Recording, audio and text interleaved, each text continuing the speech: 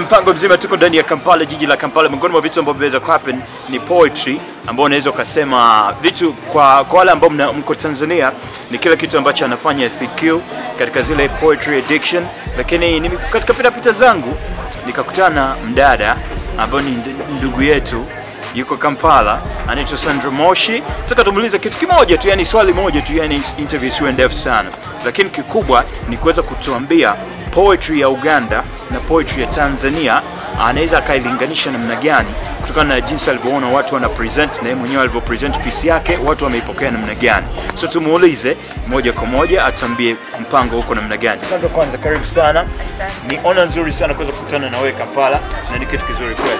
So swali liko moja tu toka hata tuchukue nafasi yako, ni kuweza kuuliza kwamba poetry unavyoiona kule Tanzania uh, licha ya lugha kwamba Kiswahili kimetawala sana Tanzania nini na nini na nini, lakini on the global, tuseme katika ulimwengu wa global, yani umekuja Kampala, Viingereza vingi sana nini na nini na nini, unaweza ukahusiana vipi ukahusisha vipi poetry ya Tanzania na poetry ya Uganda?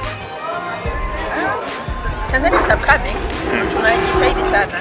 And in fact, the other day I was sharing na uh, wenzangu kwenye the workshop. Nikamwambia kwamba jinsi nilivyokuwa niko impressed inavyotumika katika Bongo Flava. Of course kwa hawa kidogo wako mbali. Jana walikuwa na um, an event but basi kwa kuja. Lakini wenzangu wanaambia kwamba imeenda vilienda vizuri sana. Na kuna mdada yule mgana alikuwa na perform Ndio, ndio. anasema ukikompare wao na wao Ghana ambao Ghana jinsi wanavyoperform wako very fierce.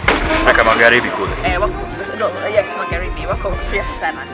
Na jinsi wanavyotumia lugha kuna maneno wanatumia ambao of course Tanzania kidogo utakuwa kwa censored kwa wanatumia tu. Kwa hiyo ta, lakini Tanzania tuna nini Okay.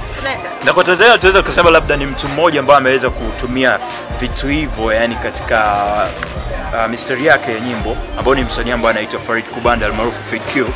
Uh, umefanikiwa kuweza kuperform pia katika Poetry Addiction za Fid Q.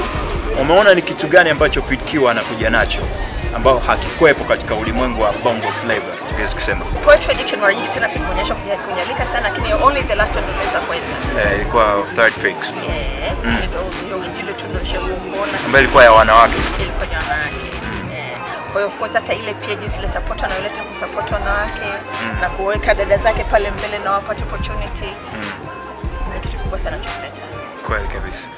Unaweza ukavikuta wapi kama utakuwa unahitaji kusoma poetry anayoandika Sandra Moshi kutoka Tanzania? Tumekutana naye Kampala kwanza. Sandra, vitabu tunavipata hapa.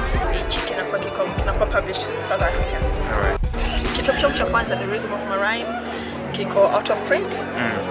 Na publisher bahati mbaya bahati mbaya kwa sababu ndio kwenye Greener Pastures iliondoka kwa hiyo hatuja hatujaangalia tena ku republish sorry ku reprint